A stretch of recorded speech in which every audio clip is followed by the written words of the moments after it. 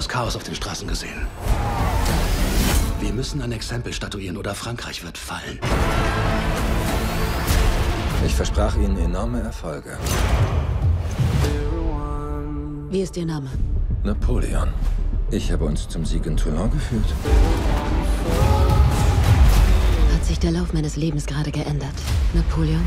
Ich bin zu Großem bestimmt. Aber die Mächtigen betrachten mich nur als ein Schwert. Ich schlage vor, dass Sie den Thron besteigen. Als König. Wollen wir abstimmen?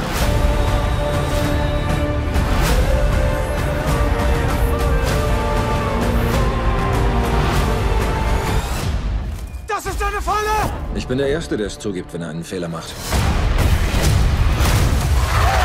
Aber ich mache einfach keine.